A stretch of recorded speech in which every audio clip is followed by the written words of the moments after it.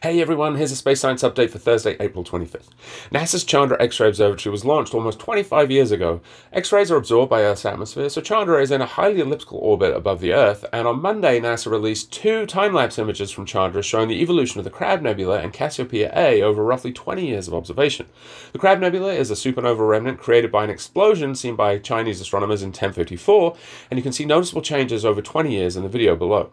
Cassiopeia A is another supernova remnant from a stellar explosion roughly 350 years ago. Cass A was the first light object observed by Chandra with the original image released in 1999. State-of-the-art techniques used to produce the images that make up these time lapses even have their own paper in the Astrophysical Journal. There's much more detail over at the Chandra website, and as always, links to everything are in the description. Finally, I'll be live on Twitch tonight at 5 p.m. Pacific, celebrating reaching 1,500 followers and also two years as an affiliate. We'll be fundraising for Shriners Children's Hospital, so stop by, chat, and maybe even win a giveaway. That's it for today. I'll see you back here tomorrow.